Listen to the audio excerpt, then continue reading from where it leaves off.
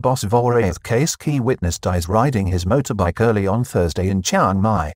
The chairman of a parliamentary committee that was due to hear evidence from the dead man and the other key witness, reported to be ex-military senior officer, Air Marshal Jakkrit Thanomkulabutr, has appealed to National Police Chief Chakthip Chaijinda to take steps to protect the former military officer who is due to give evidence before a parliamentary inquiry on Wednesday, the 5th of August next, into the controversial case one of two key witnesses that came forward to help clear the case against boss Vorayuth Yoovidhya has been killed in a bizarre coincidence early on Thursday morning in Chiang Mai. 40-year-old, Jerachut Mardthong, died after his motorbike appeared to have hit another motorbike on a main road into the city. The 40-year-old key witness, Jerachut Mardthong, who was scheduled to give evidence before a parliamentary committee on Wednesday, the 5th of August was killed on Thursday morning at 1 a.m. in what appears to be a freak motorbike accident on a quiet motorway in Chiang Mai. Police and medics rushed to the scene and attempts were made to resuscitate him but he died shortly at Maharaj Nakhon Chiang Mai Hospital one of the key witnesses who came forward in the revised police investigation into the case of Boss Vorayuth Yoovidhya that led to a decision by prosecutors to drop all charges against him, has been killed. 40-year-old Jerichat Mardthong was killed in a freak motorbike accident on Thursday morning at approximately 1 a.m. in Chiang Mai. Mr. Jerichat had been working as a driver when he reportedly witnessed the accident involving 47-year-old Police Sergeant Major Wichian Klangprasad in the early hours of the 3rd of September 2012 when the policeman's motorbike was struck by the luxury Ferrari driven by then 27-year-old Boss Vorayuth tragically killing the married man. Other witness named as Air Marshal Jakkrit Thanomkulabutr, the dead man had not told his family about the Red Bull case. The other witness in the case is reported to be a retired military officer, Air Marshal Jakkrit Thanomkulabutr. Both were due to appear before a parliamentary committee on Wednesday, the 5th of August chaired by Palang Pracharath MP, Sira Jenjaka.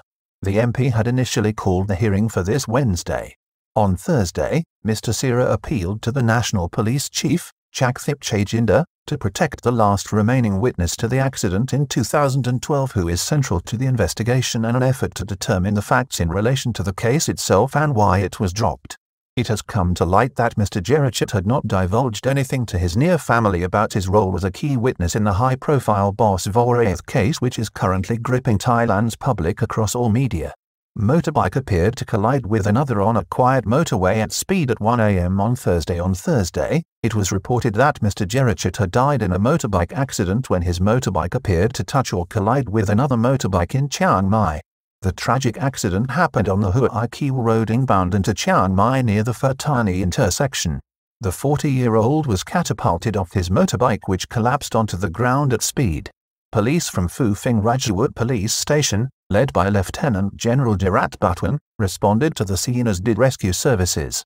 They found the 40-year-old barely alive and tried to resuscitate him on the road. He died shortly after being taken to Maharaj Nakhon Chiang Mai Hospital. Reported to be living in Chiang Rai, working in Bangkok in 2012 told family about a bad omen Mr. Jerichat had reportedly been living in Chiang Rai having moved to the north, at first living in Chiang Mai after finishing his work in Bangkok where he was a chauffeur in 2012. On Thursday, his 15-year-old daughter, who lives in Chiang Mai, revealed that the key witness had worked for three years in Taiwan and had been separated from his wife and family. His daughter said she had last seen her father in June but he had also, recently, told family and friends that he had been sent a bad omen when he dreamt of preparing to clean his house in advance of receiving bad news. She was unaware of his links to the controversial case. Testimony of witness was critical and made the victim a suspect in the case so that it was closed. Mr. Jerichat's testimony was critical to the decision by an assistant attorney general at the end of June to sign the order quashing all attempts to prosecute Boss or Vorayuth Yoovidhya for the death of Sergeant Major Wichian in September 2012. His testimony, along with other witnesses, had essentially made the victim, in that case, the prime suspect and contributor to his own demise. The evidence to police was that the policeman, on his motorbike, had been driving dangerously before it had collided with the wealthy Red Bull heir's Ferrari. According to the testimony, it was likely that the policeman had swerved into the incoming sports car on the right-hand side of the road from the left. Other expert witnesses also suggested that Boss Vorayuth was driving at below the speed limit. Assistant Attorney General named the Assistant Attorney General, who made the decision at the end of June to drop the last charge against the Red Bull Scion, has been named as Nate Naksuk. It has also been revealed that the Yoovidhya family have agreed on financial compensation with the family of Police Sergeant Major Wichian Klangprasad and that no civil or criminal proceedings are likely from that quarter. In the meantime, several panels and inquiries have begun to look into the decision to drop the last remaining charge against the Red Bull heir boss Vorayuth Yoovidhya, and the conduct of the case since 2012 as public consternation in Thailand mounts.